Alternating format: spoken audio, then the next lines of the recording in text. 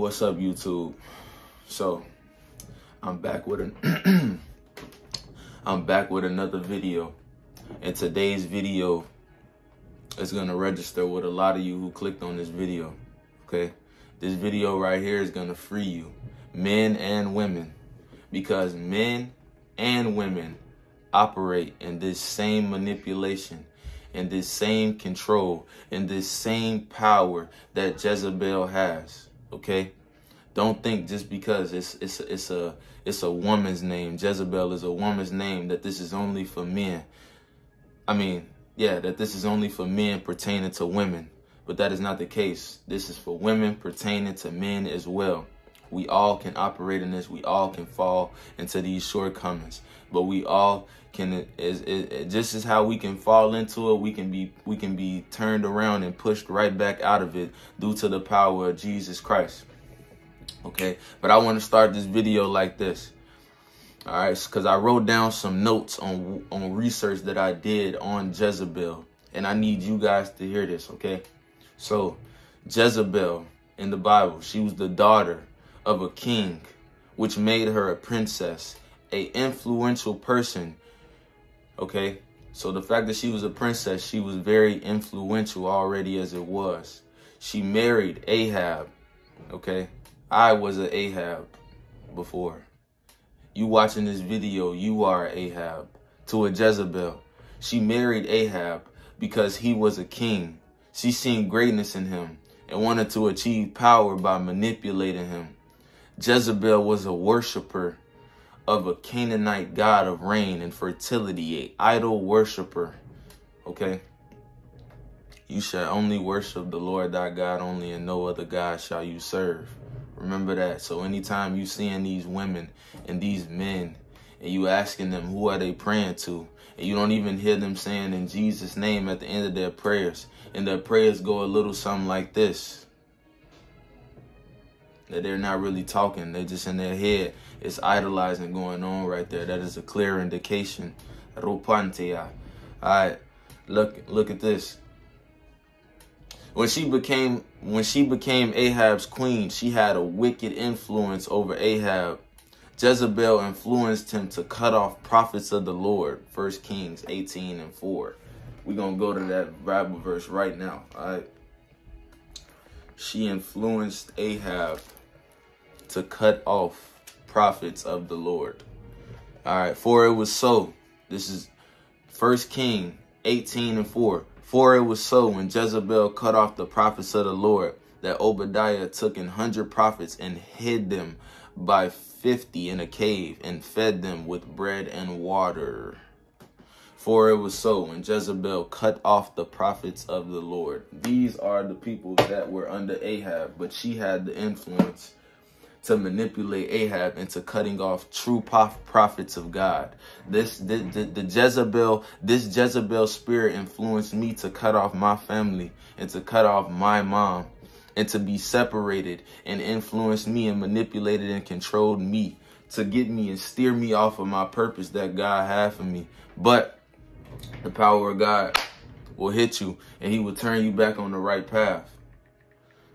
So let me go back into my notes. The spirit of Jezebel has a voice of influence and control at the core of Jezebel. Her main objective is control, manipulation, and her own personal gain. She will stop at nothing to get it.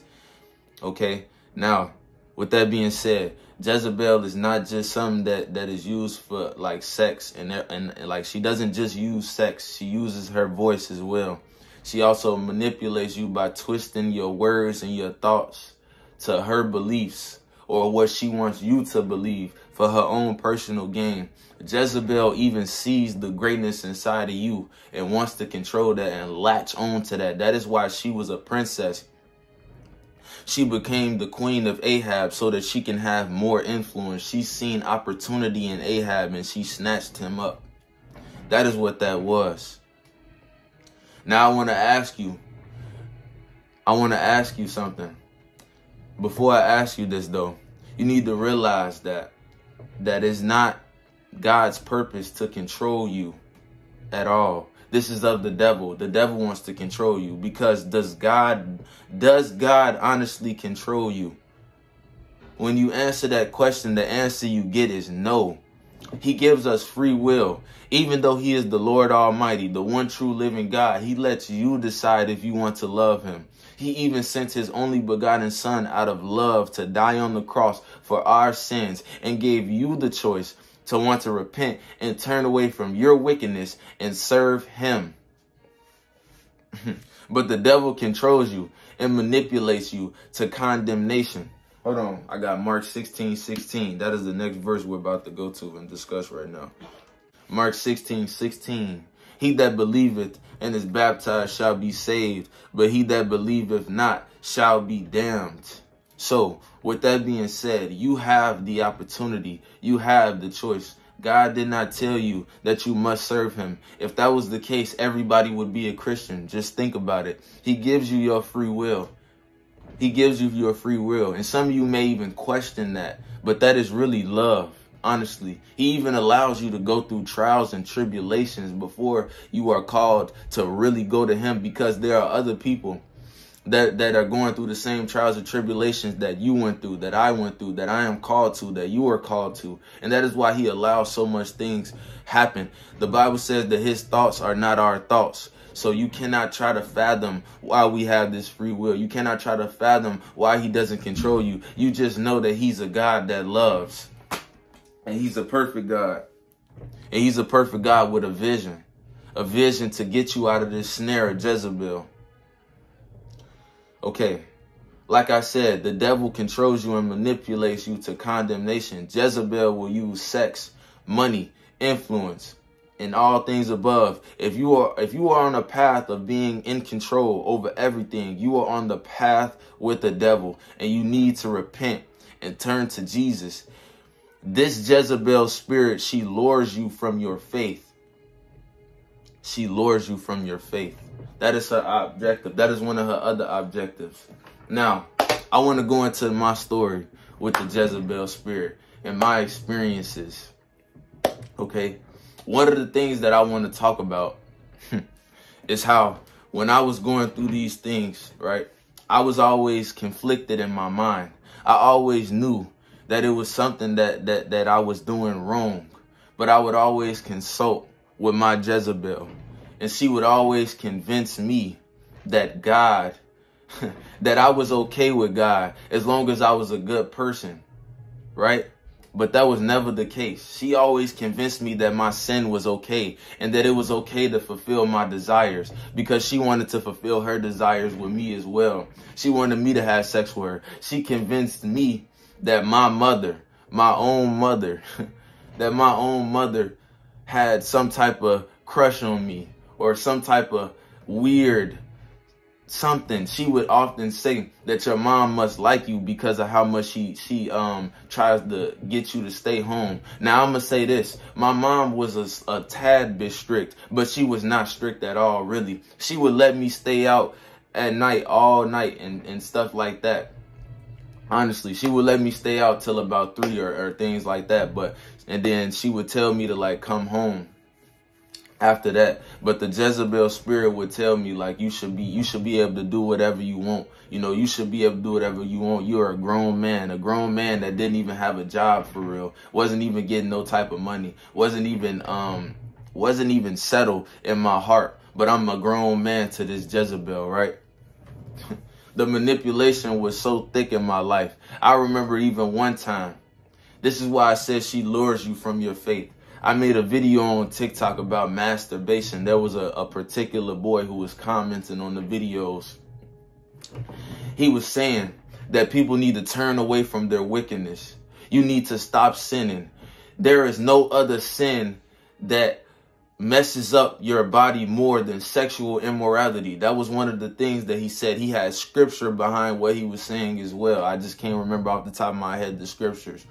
Okay. We were going through these comments and she began to tell me, she literally began to tell me that um he was judging.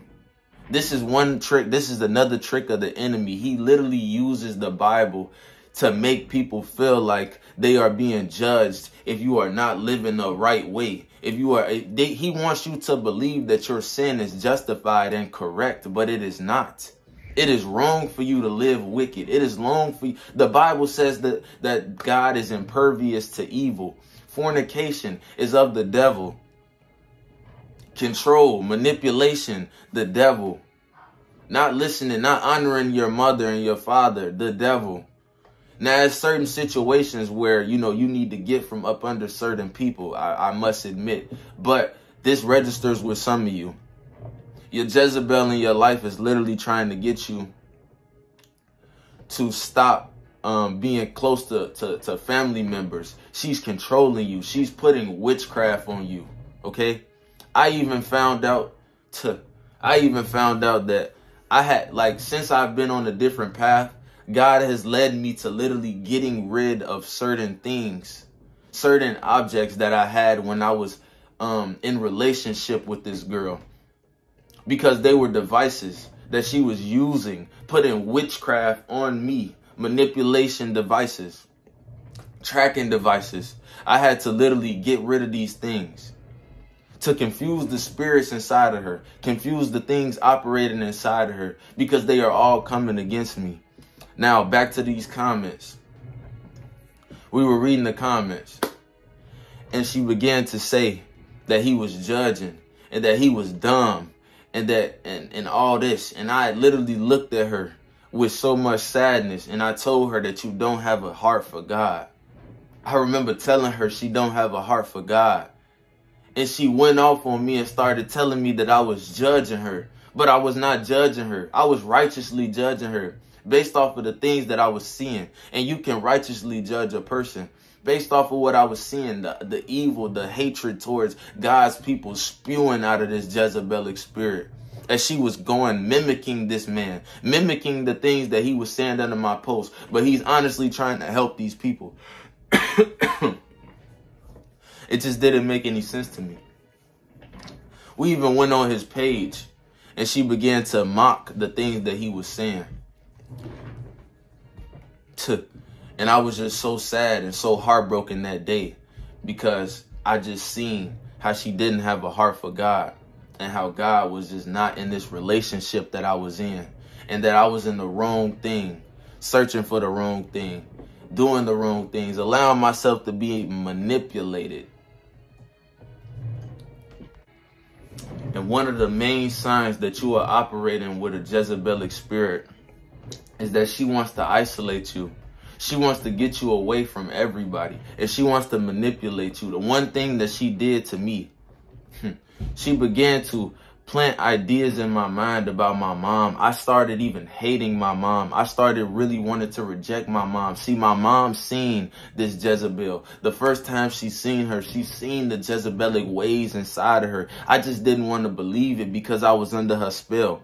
I was under the spell of sex and love but it was all a facade. See, I want to tell you, she told my mom that she was taken advantage of by two men that I went to high school with, and it was all a lie. It was all a lie and a facade. She even said, she even tried to destroy my character. She hated my mom. But as I broke up with her, as she lo lost her power, she ended up trying to call my mom like every single day, every week, trying to reach out to my mom trying to assassinate my character, telling her that she was pregnant, which was a lie, telling her that I even raped her, which was an even bigger lie, because I am not that type of person. I would never, ever, ever do anything like that to a woman. Okay? Never. And she tried to assassinate my character. But see, God revealed to me in that very hour as she kept calling my mom and she kept trying to reach out to me. She was even reaching out to me, making fake numbers, calling me. I had to change my number and everything. God revealed to me in that hour who she really was. And it was a Jezebelic, controlling, manipulating spirit. That's what she was. That whole relationship, that whole time. And she could say whatever she want about how I tried to start the relationship, about how I started the relationship, anything she want. It doesn't matter. Because what happened in between everything shows different. Even in the relationship, when I hit hit up I hit up different women in the relationship and all. It doesn't matter. She still had a very lot of controlling and manipulating ways. And she wanted me to stay with her forever. She seen the greatness inside of me. and she wanted to latch on to that and, and enjoy the ride. But what was happening was that I was actually being hindered. Yes, I am great. And I don't say that out of cockiness. I say that out of confidence in the Lord. Yes, I am great. But she's not the one that's going to be enjoying that ride. The Lord has a different woman for me. Okay? And she's not the one. So, her latching on to my greatness and her latching on to my purpose was really just hindering me. I was never ever going to reach the places that God is sending me towards now. Ever if I would have stayed in that relationship. And that is the same for you. See, God wants you, He wants to bring you out of this toxic and Jezebelic relationship. He wants you to walk in your purpose.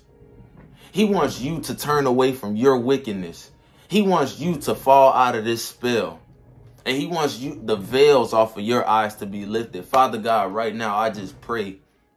I pray that this video literally touches their heart. Holy Spirit, touch. Touch the heart. Holy Spirit, touch their heart as they listen to this right now, Father. Touch it. And I pray. I pray that the veils on their eyes be lifted up and that they can see even see the Jezebelic spirit inside of this person when they look into their eyes the next time they are with this partner. That they can see it, they can smell it, smell the disgust on this person, the evil on this person, the witchcraft on this person, the chants, the weird prayers, the signs, everything that is on this woman everything that is on this man, this controlling man, this controlling woman, that they can see it and that it, they are repulsed by it and that they, they know that they need to get out of this relationship no matter how hard it is. In the name of Jesus, Holy Spirit, touch. Touch the heart, touch the eye, open their spiritual eyes, open their spiritual ears so that they may hear, so that they may see the truth. In the name of Jesus, I pray, amen. Now I want to keep it real with y'all. It's not easy doing this. This ain't easy. But this is this is real. This is the truth. God literally before I made this video was still healing me on my old relationship. I was still holding on right before I made this relationship. I was literally deep in prayer this morning. And I had to release this girl. I had to release the rest of her from me because I still had an attachment. I still felt as though I loved her or something or some type of connection or that I, I just wanted to see her do great or something. I don't know.